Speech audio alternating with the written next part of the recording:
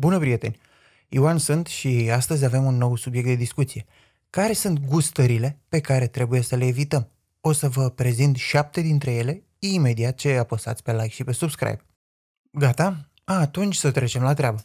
Dacă sunteți ca mine, atunci mâncatul între mese este unul din lucrurile cu care vă confruntați. Nu mănânc mult la o masă, dar când încep să adun gustările dintr-o zi, strâng o cantitate impresionantă de calorii. Mă bucur că le notez și că reușesc să nu sar calul.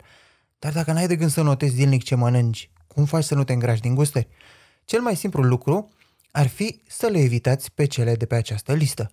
Chipsurile au în medie 500 de calorii pe 100 de grame, vasta lor majoritate fiind din grăsimi și carbohidrați. Adică, după ce că îngrașă, nici nu satură și putem mânca liniștiți cantități impresionante.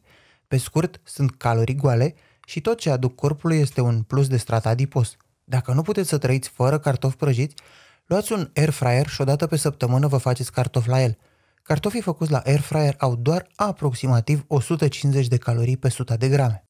Față de chipsuri, pufuleții stau ceva mai bine, 400-450 de calorii pe 100 de grame, 90% dintre ele venind din grăsimi și carbohidrați.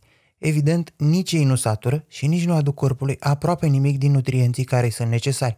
Cantitatea de fibre este infimă, cea de proteine este extrem de mică, iar de vitamine și minerale nu are sens să mai discutăm.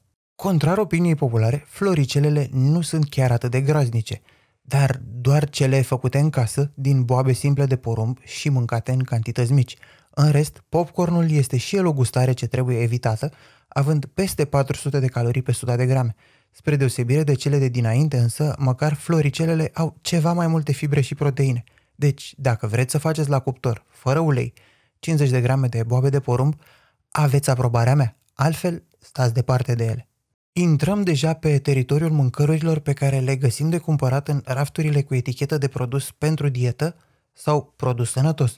Cum ar putea însă rondelele de orez să ajute la dietă când ele au 350-400 de calorii pe 100 de grame, din care 75-80% provin din carbohidrați, iar o rondea conține 2-3% din doza zilnică recomandată de vitamine și minerale.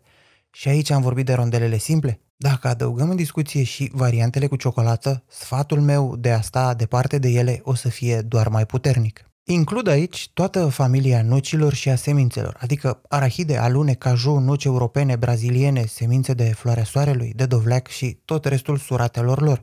Nucile au peste 600 de calorii pe 100 de grame datorită conținutului ridicat de grăsime, iar semințele, după ce le-ai dat jos coaja, nu sunt nici ele departe. Sănătoase sunt doar crude și în cantități mici, așa că evitați variantele prăjite. Altă sursă de calorii goale, din care ne place să luăm câte un pic, câte un pic, până când ne dăm seama că am terminat o pungă, sunt covrigei.